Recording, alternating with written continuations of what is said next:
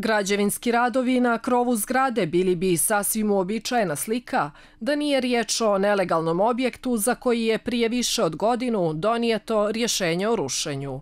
Iako se okolni stanari godinama bune, a svi postupci legalizacije su prekinuti, radovi na lamelama koje je firma PS Gradnja 2017. godine bez dozvole izgradila u Podgoričkom naselju Zabjelo privode se kraju i više nije pitanje investitora koji je iskoristio haos u državi i nelegalno napravio objekat. Nije ni prvi ni poslednji. Pitanje je zašto država ne radi svoj posao.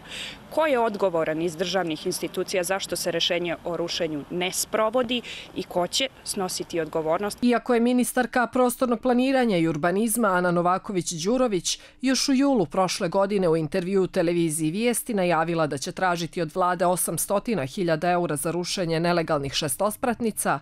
Iz njenog resora nije nam odgovoreno da li je taj zahtjev realizovan. Iz ministarstva navode da je za jednu zgradu odbijena legalizacija, dok je za drugu postupak legalizacije prekinut do donošenja plana generalne regulacije, čime se po zakonu o planiranju prostora prekida i postupak uklanjanja tog dijela objekta. Iako je postupak o rušenju nelegalnih lamela na zabijelu odavno pokrenut, kada će se to desiti, još uvijek se ne zna. Umeđu vremenu iz Ministarstva prostornog planiranja kažu da bi rušenje nelegalnih potencijalno ugrozilo legalne objekte.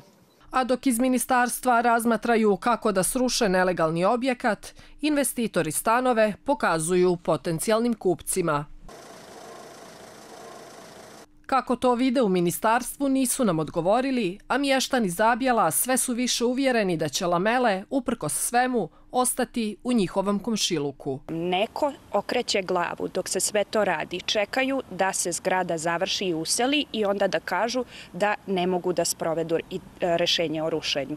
Dakle, mi nismo glupi, mi nismo naivni, znamo kakva se igra ovdje igra. Ovdje više nije pitanje investitora i nelegalnog građenja, očigledno je moglo da mu prođe kao što može sutra bilo kome, kao što vidite. Ovdje je pitanje prava cijelog naselja. Zato mještani najavljuju da će, ako se uskoro ne počne sa rušenjem, odgovornost državnih organa tražiti na sudu.